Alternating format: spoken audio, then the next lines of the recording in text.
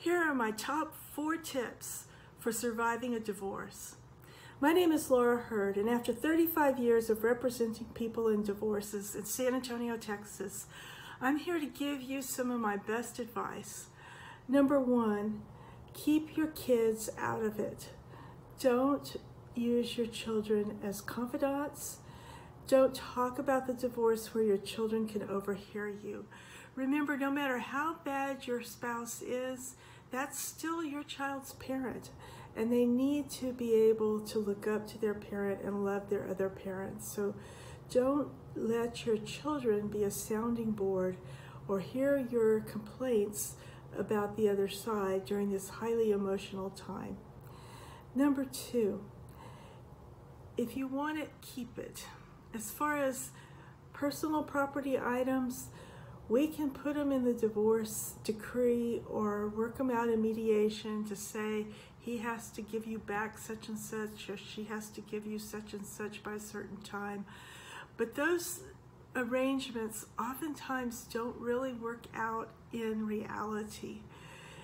Once they have something of yours and they are mad at you, the chances of getting it back are not real good. If you move out, take as much of your stuff with you when you move out as you can. And if you're staying in the house and the other spouse is moving out, if it's really important to you, put it away somewhere where they can't get it. Don't let them take it away and then spend the next year of your divorce trying to get it back again. Number three, stay off of social media. Don't even get on social media during your divorce as far as posting anything because this is a highly emotional time. You're not thinking straight and things that you think might be venting or might be helpful to your case could actually hurt you and come back to haunt you.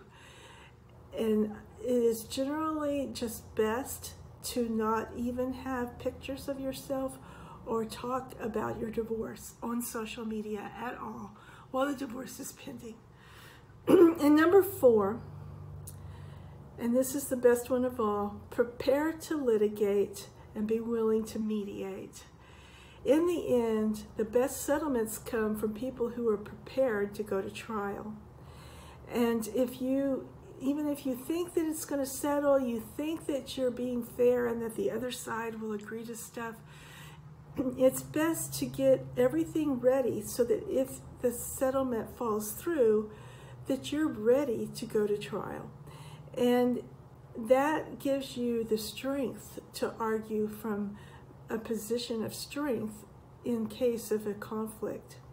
And um, that is the best way to be able to settle is if you have the position of strength. My name is Laura Heard, and I have written a book called Divorce and Estate Planning in Texas.